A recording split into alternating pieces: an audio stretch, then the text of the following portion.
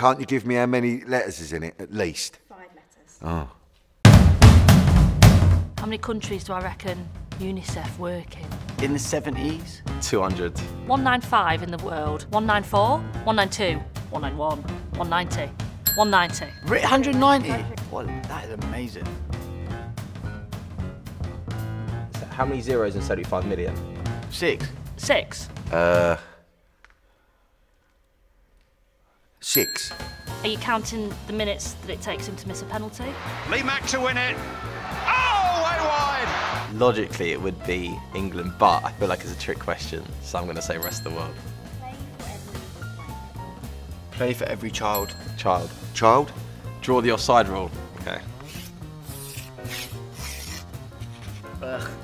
The ball's been played by him and he's ran out behind him. He's offside. That's where we've gone wrong at Leeds. No one was drawing them enough. Hope that helps, guys. Don't forget to tune in to Soccer Aid for UNICEF on Sunday, the 11th of June.